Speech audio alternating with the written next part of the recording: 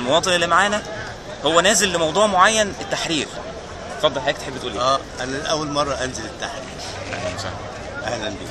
ونازل لموضوع معين فعلا اللي هو التنسيق بتاع الثانوية العامة. تحب حضرتك تقول إيه؟ يعني تنسيق الثانوية العامة إزاي الطالب مثلا عشان يخش كليته اللي هو عايزها يجيب كام في المية؟ يجيب مية في المية يجيب كام؟ أما الإنسان اللي هو 90 و92 مش جايب ال- الكلية اللي هو عايزها إذا كان كلية هندسة ولا كلية طب في أول مرحلة. وطبعا أول مرحلة دي بتخلص على طول. وهل هي الأعداد كلها تستوفى؟ على على الأرقام ديت؟ العيل ذاكر وتعب ونجح وجاب مجموع فوق ال 90 92 ونص ولا حاجة. ما يخشش الكلية اللي هو حضرتك عايزها قلت لي إن حضرتك ليك تجربة شخصية إن آه، في ناس تعرفهم جابوا 92 ونص. أيوه أنا بنتي أنا نازل التحرير النهارده عشان كده. آه. جايبة 92 و6 من 10 وعلم رياضي وعلم رياضة. هل ما تخشش هندسة؟ ليه؟ ليه؟ عشان هي ذاكرت وكافحت وإحنا كافحنا معاها ودفعنا فلوس. للمدرسين. وسهر ووجع دماغ. و- ما يصحش كده يا وزير يا التربيه والتعليم العالي يا اللي سابق ولا اللي موجود دلوقتي اللي لسه هت... هتحلف اليمين. ما ينفعش الكلام ده خالص. يعني العيل عشان يجيب يخش كلية يجيب لك 100% ده انت لو نقلت ورقة من ورقة هتغلط فيها. إزاي يعني؟ ارحمونا. ويا ريت. ويا ريت ويا ريت الأرقام اللي أنتوا حاطينها ديت تتخفض. تتخفض. يعني ما, ما يصحش كده. رحمة بالطلبة وبالناس اللي تعبت. رحمة بينا إحنا وب- وبالطلبة ما ينفعش الكلام ده. العيل يجيب 100% عشان يخش الكلية؟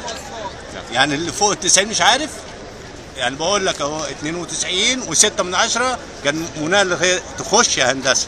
إزاي؟ تيجي إزاي؟ وانتوا بقى حرين التصرف. أنا أعرف ناس جايبين 92 وجايبين أعرف ناس جايبين 90 كام ممكن يكون علم علوم كمان بس هي الفكرة كلها في إيه؟ إن ال ال ال أنا أصلا قلت لحضرتك نعرف النظام ده أصلا. نظام التنسيق ونظام إن إحنا نخش ثانوية عامة. عشان لازم نجيب مجموع أعلى من أعلى من 98 وأعلى من لازم نجيب 100% عشان نخش كلية عندنا.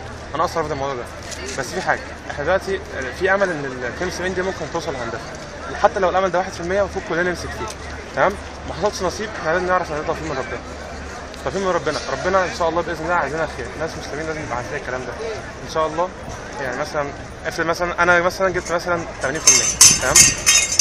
وأنا ما دخلتش كده- معلش. طب أنا كده مش فاشل. يعني تمام؟ معلش. آه مش فاشل. وذاكرت وكل حاجة. تمام. معنى اللي أقل كمان اللي أقل من 90 دوت يبقى خلاص لا. يضيع طموحاته يضيع ما هو طموحاته ده بقى غلط ما هو ده عشان كده إيه ده؟ رافضين هو. القصد من من كلام الأستاذ إن هو حياتك اللي, اللي تعب كل الناس اللي تعبت لازم تاخد حقها. أيوه أنا قصدي أنا قصدي إن واحد مثلا جاب 80% ده مش فاشل. ده ممكن يكون دماغه أنضف من واحد جاب 100% الفكرة كلها إن نظام الثانوية العامة إحنا طب إحنا ناس علمي. بندرس حضرتك مواد أدبية بندرس عربي بندرس علم نفس. الكلام ده إحنا المفروض ندرسه أنا أقول لحضرتك حاجة. اتفضل الطالب ذاكر وكافح وجاب أكتر من 90 ده كده يخش. يخش الكلية اللي هو عايزها. أنا بقول لكن كده. الكلام دوت لا. الكلام ده لا غلط الكلام أصلا مرفوض من الأول. الكلام ده غلط. تمام. ما ينفعش خالص خالص خالص.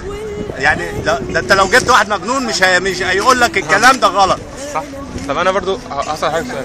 ممكن أنا مثلا لو جايب مثلا 99% ودخلت وأنا مثلا ربنا وفاني م- ربنا ما كانش راضي إن أنا أخش هندسة.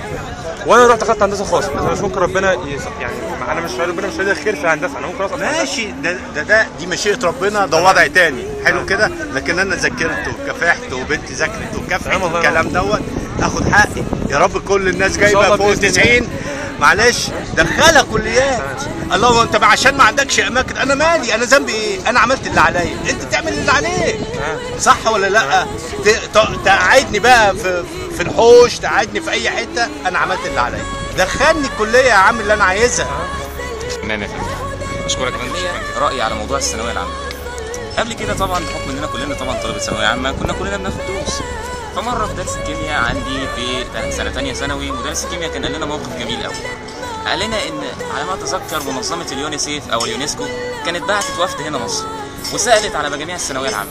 قالوا لها إن في نسبة كبيرة جدا بتعدي ال 100% كانت الإجابة القاطعه أنتوا دولة متخلفة. ليه أنتوا دولة متخلفة؟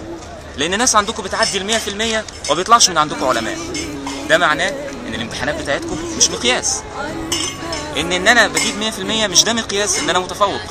والدليل إن إحنا ياما كتير قوي شفنا اوائل جمهورية دخلوا كليات وما نجحوش. وتجارب شخصية. يخش كليات منهم اللي بيجيب يا دوبك يعدي ومنهم اللي بيسقط وما بيكملش يعني معنى كده إن إحنا امتحاناتنا لغاية دلوقتي لم تحقق المقياس المطلوب للحكم على الطالب إن هو متفوق ولا مش متفوق. لسه أحمد صبري الراجل اللي بيصور معانا قال لنا كلمة جميلة قوي قال لنا إن ممكن واحد جايب 90% تلاقي إن مخه أنضف من واحد جايب 100% أو معدي 100% ده كان تعليقي. شكرا لحضرتك. ومبسوطين إن إحنا طلعنا بالفقره دي.